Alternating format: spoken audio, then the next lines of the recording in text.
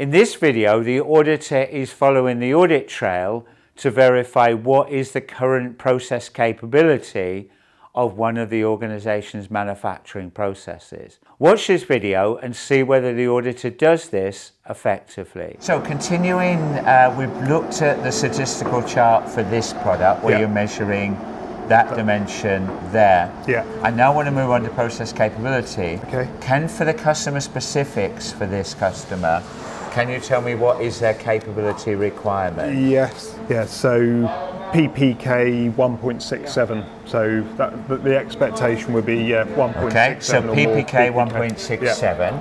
Now I see from the software here you do some statistical analysis. Yeah. Explain to me what is the current process capability for this so process? Currently, we are running at 1.85, so CPK of 1.85. So we're, from our point of view, that will be seen to be in control, capable process. Right, but that CPK. Yeah. Uh, didn't you just read from your customer specific they require PPK? Yes, they do. Um, to be honest, we use those interchangeably. This software only gives us a, a CPK um, indice. We don't have PPK on here, but we see it in the same way, if, if that makes sense. So we right. would say 1.85 is more than.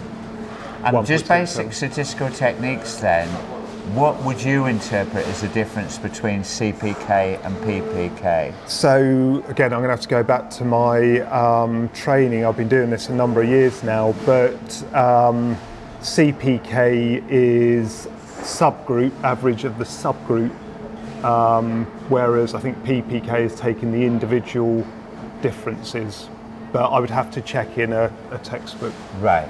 But the issue here is the customer is asking for one indices and you're measuring another. Yes. Which gives me significant yeah. concern. Yeah. Just one other thing I want that we see the CP value is yeah. much higher than the CPK. Yeah. Can you explain why?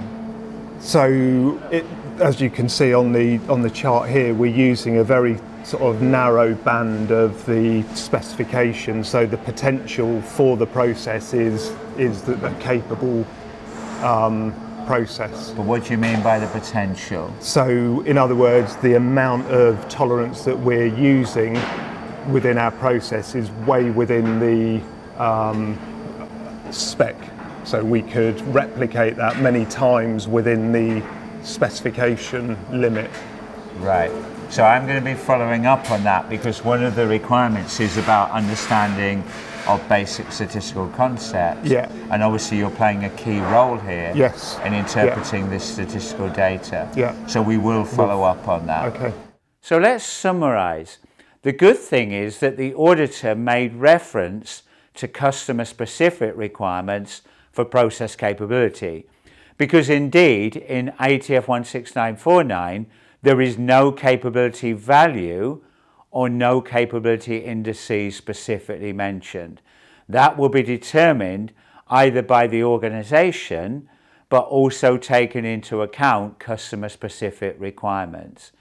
And in this audit simulation, we found that the process capability was being measured in CPK, and the current value shown by the organisation was 1.85, whereas the customer specific requirements mention the capability indices of PPK and the minimum requirement for that was 1.67. When the auditor started to question the organisation representative on this, they appeared not to have a detailed understanding of what is the true difference between CPK and PPK. So let's summarize the key learning point. IATF 16949 does not mention any specific capability indices or specific capability value. So in an audit, an auditor should question what is the acceptance value for process capability taken into account customer specific requirements. In this particular case, the capability was being measured as CPK, but the customer specific requirements are PPK. So that indeed was not acceptable to meet the customer specific requirements.